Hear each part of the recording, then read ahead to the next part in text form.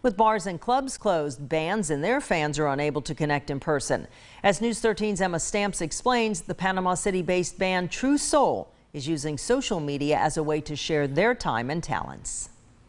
I was sitting around the house and I was thinking, you know, live music doesn't really have to die. A few members of the band True Soul hosting a free concert on Facebook with the goal to brighten up news feeds. Every time you pick up social media, you hear all this grief and despair, so we were just trying to put something, you know, giving people something else besides all this stuff that's going on. The award-winning local band wanted to keep practicing their craft and connect with their fans, taking requests throughout the performance. Anything that's going to make somebody dance, have a good time, you know, that's, that's pretty much us. True Soul said they hope the concert was soothing to their viewers.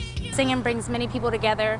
You have so many different emotions with singing, so I mean, anytime people are feeling sad or anything, they can always tune in and hear us singing, and it always just picks them up. Although Belcher's front yard made for a great stage, the band hopes to be back performing in bars and clubs soon. It's a little different. I mean, the crowd participation is a little different, you know. Uh, but other than that, you know, like I said, we just we enjoy what we do, and as long as somebody's watching us and getting pleasure out of getting pleasure out of it, so are we.